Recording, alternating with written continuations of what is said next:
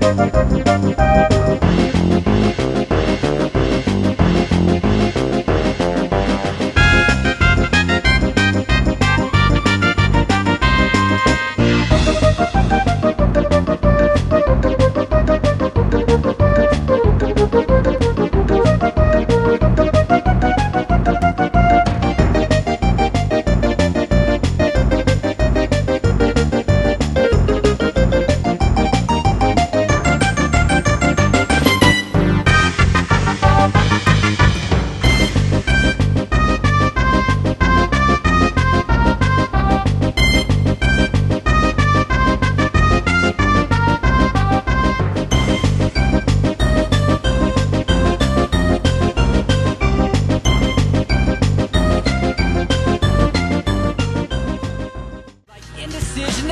you and hear your voice of trees on. Will you come home and stop this pain tonight?